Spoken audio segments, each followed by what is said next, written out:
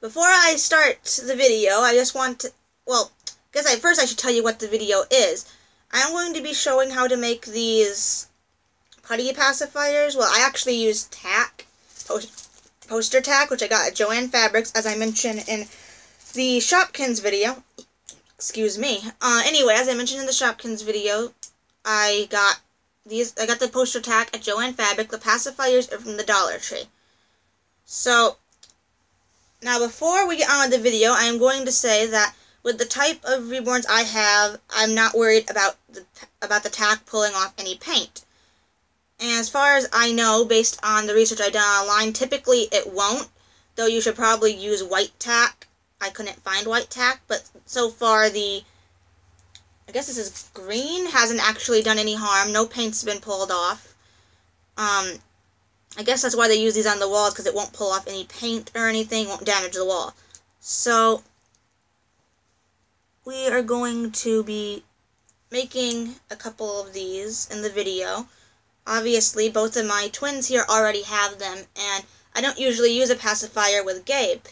So you're probably wondering exactly why I'm going to be making more, especially since I forgot to put these over here, but especially since they're the same pacifiers again.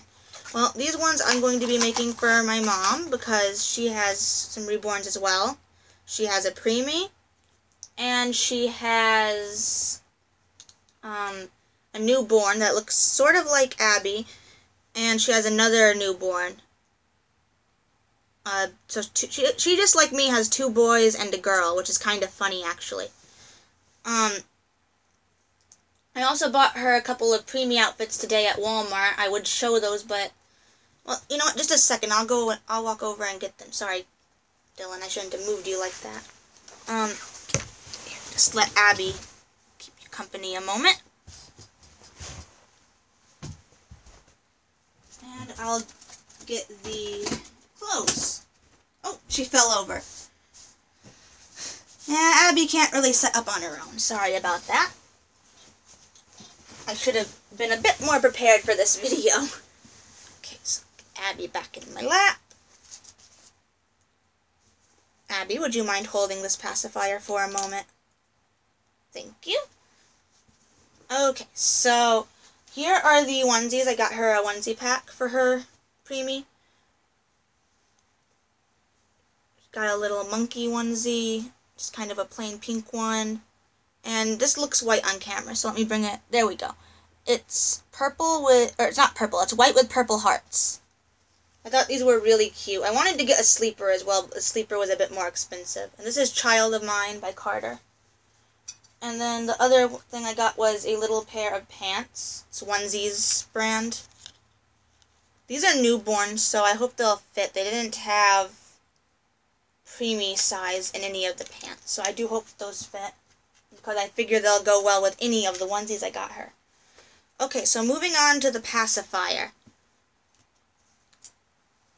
to start, just kind of pull, make sure it's all up here.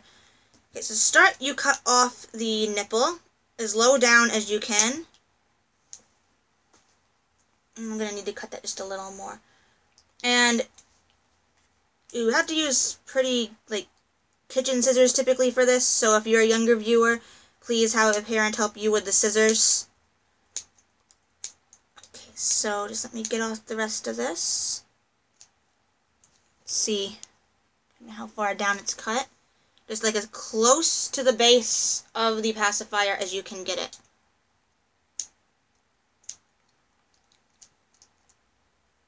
Uh, okay. So, then, after you've got that done, um, you just take a bit of your tack. I just use one square. Some people use more.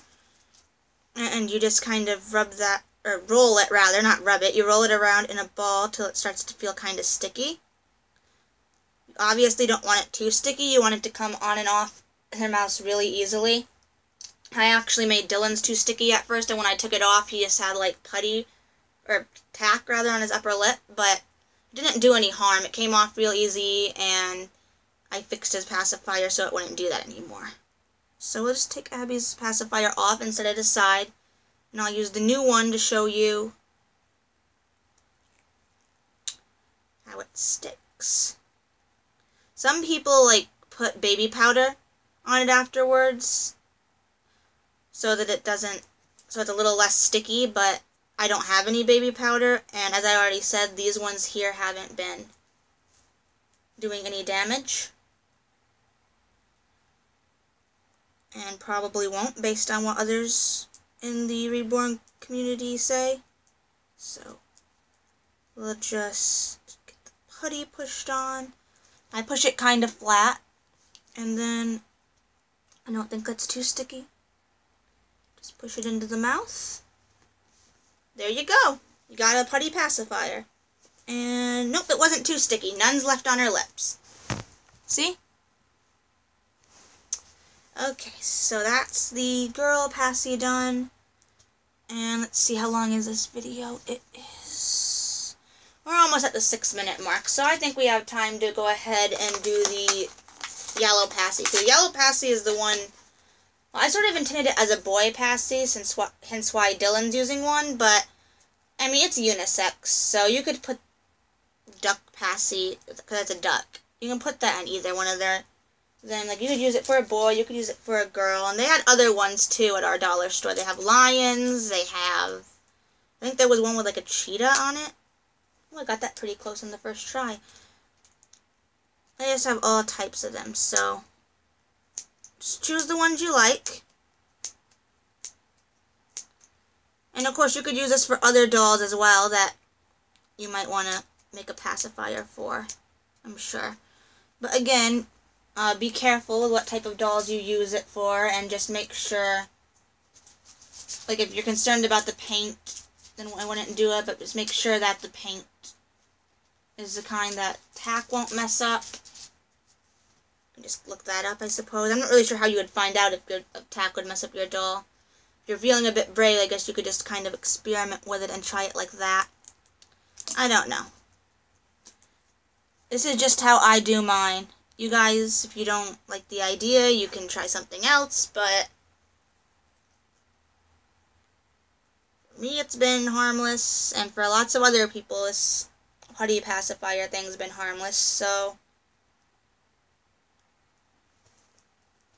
I'm just going to continue using it.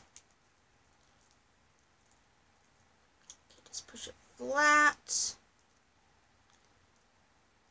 One day I would kind of like to have one with a magnet in its mouth, though. But these two don't have magnets, so putty is necessary.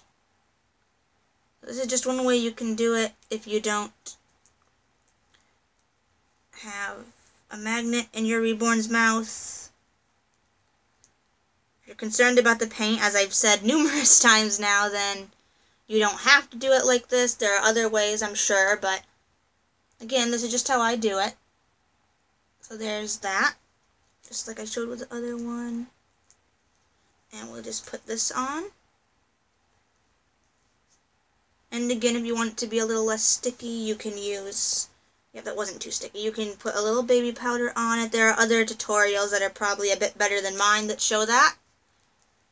And mine was kind of a spur of the moment thing where I finished the pacifiers, and then I recorded a Shopkins video, and then I thought, well, I still have to do the other two pacifiers, so I might do a quick video on that. So yeah, this is how I modify my pac pacifiers. And as I've said numerous times, there's never been any issues with the paint. So, sorry, I'm picking up little bits of pacifier that got dropped onto the table where the camera's propped. Anyway, thank you guys so much for watching. I hope you enjoyed and and if you did, I hope you stick around for whatever comes next. Thanks, guys. Um, bye!